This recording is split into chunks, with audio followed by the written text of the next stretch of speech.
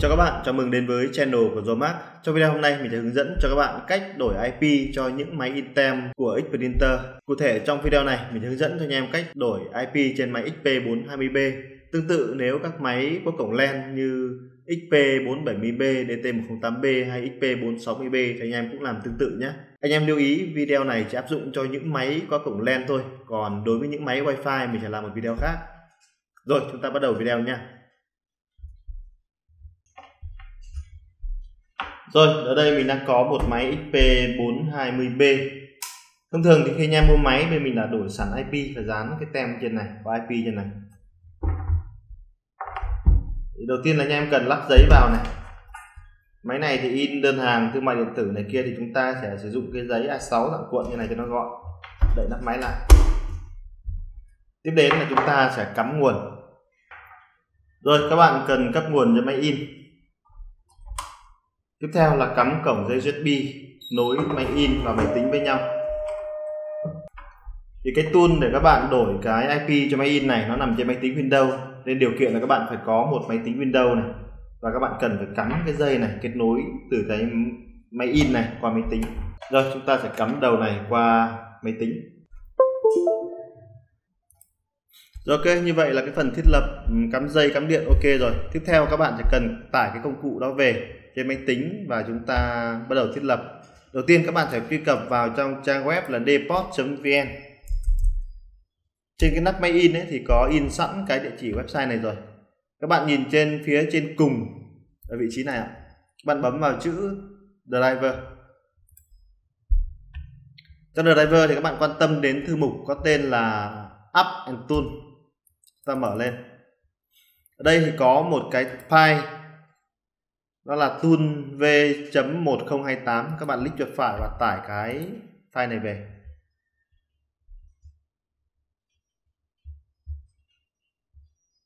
Hiện tại thì công cụ này mới có trên Windows thôi, chưa có trên MacBook nên bắt buộc các bạn phải có máy tính Windows nhé. Các bạn chọn thư mục để lưu nó.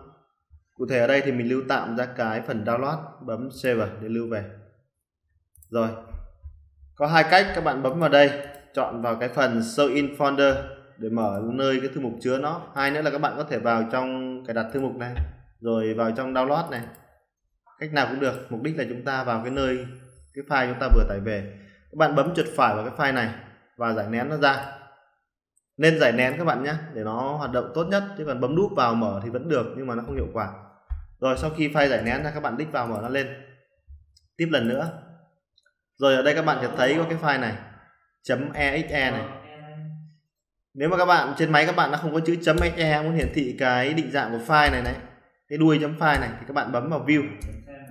Ở view các bạn tích vào cái file name extension. Đó các bạn thấy không? Nó chỉ hiển thị cái chấm .exe đối với file Word file Excel cũng thế nó chỉ hiển thị cái định dạng là chấm uh, doc chấm xdoc thì đó cho các bạn dễ theo dõi. Ok. Các bạn sẽ click chuột phải và chọn dòng thứ hai chạy dưới quyền admin thì ở bước này trên máy của mình ấy, thì các bạn thấy nó chạy ngay lập tức. Tuy nhiên là trên một số máy khác của các bạn có thể các bạn chưa cài những cái trình như là network frame 3.5 ấy, thì nó sẽ yêu cầu cài. Thì ở bước đó các bạn cứ bấm vào à, mình không nhớ chính xác cái giao diện lắm nhưng đại loại hệ thống Windows nó sẽ hỏi thì các bạn cứ bấm vào cài đặt thêm cái đó để nó có thể chạy được những cái tool như thế này nhé rồi trong cái tool này thì à, đầu tiên các bạn sẽ chọn cái đơn vị thì có thể là inch hoặc là mm đều được cái interface, cái cổng kết nối thì các bạn chọn là USB bây giờ các bạn sẽ bấm vào chữ setup. Đó, thì ngay lập tức máy nó sẽ quét được cái máy XP420B các bạn có thể bấm tab và các bạn nghe tiếng tít, tiếng từ bên máy in. Các bạn bấm config để xác nhận. Thông thường cái tool này nó làm được nhiều việc lắm. Các bạn có thể bấm vào get started ở đây để kết nối với nó. Tiếp đến là chúng ta bấm vào chữ get dưới cùng bên phải. Thì toàn bộ thông tin về chiếc máy này, canh giấy, mọi thứ, thậm chí cả Serino nó hiển thị hết ở đây, chi tiết có một cái mục rất là hay, đó là cái mục canh giấy tự động này. Nếu mà các bạn canh thủ công nó chưa hiệu quả, các bạn có thể sử dụng tính năng này, bấm vào đây. Rồi, các bạn bấm vào cái chữ ngoài cùng bên trái này này. Đó, các bạn bấm vào. Thì ngay lập tức các bạn sẽ thấy máy nó chạy này. Đó, nó canh giấy. Ok, vậy nó là canh xay xong giấy rồi đấy. Rồi, bây giờ mình sẽ đến phần quan trọng nhất, đó là chúng ta đổi IP thì phía bên trái này, các bạn sẽ nhìn thấy chữ Internet Setup. Các bạn bấm vào rồi ở đây thì à, máy nó sẽ hiển thị được cái thông tin cái IP hiện tại của máy in 192.168.0.199 và cái gateway của nó là .0.1 ví dụ như ban đầu à, bên mình đổi cho các bạn như vậy tuy nhiên vì lý do gì đó sau này các bạn đổi wifi mới hay là các bạn thay đổi cái à, vị trí cái cái shop chẳng hạn đến một nơi khác IP nó thay đổi thì à, các bạn sẽ đổi như sau đây, ví dụ như các bạn qua một bên mới, các bạn muốn kiểm tra IP ở nơi đó là bao nhiêu, các bạn vào trong cái phần cài đặt wifi đây này. Đó, các bạn bấm vào cái wifi đó. Trên điện thoại các bạn không kiểm tra được. Đây, bấm vào wifi này. Thì các bạn nhìn xuống phía dưới này, các bạn sẽ thấy này. 192.168.1.148 thì các bạn biết cái lớp mạng ở đây nó là 192.168.1 các bạn nhé quan tâm ba cái hàng đầu này thôi, chấm 1 đó, thì chúng ta sẽ quay qua đây để đổi cho cái máy in này các bạn giữ nguyên cái số cuối đổi mình số 1 thôi. Đó. Đổi cái uh, lớp mạng ở đây thành một. Các bạn nhớ nhé 192.168.199 192.168.1.1 cái gateway ở dưới ban đầu nó bao giờ nó cũng chính là cái giá trị trên này và cái cuối cùng nó trả lời chấm 1 ở trên là 192.168.1 thì ở dưới nó phải là 192.168.1 ở trên là 192.168.0 chẳng hạn ở dưới thì bắt buộc cũng phải giống y chang như vậy.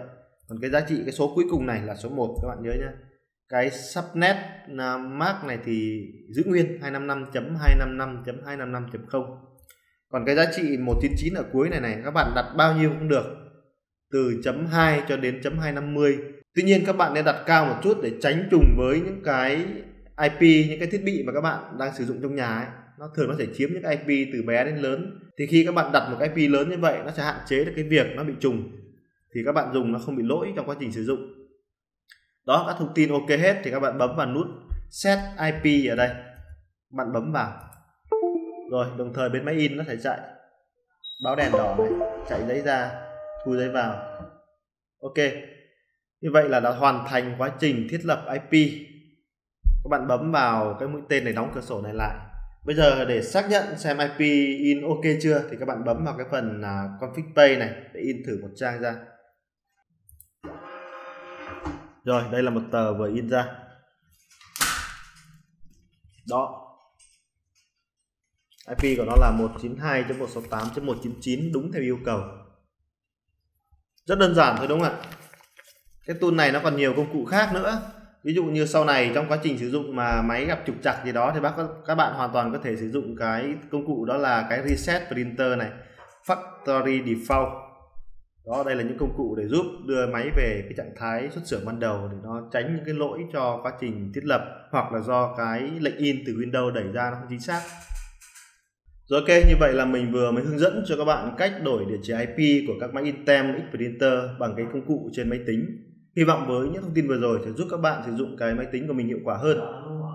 Có bất kỳ câu hỏi hay thắc mắc gì, các bạn vui lòng comment dưới phần bình luận nhé.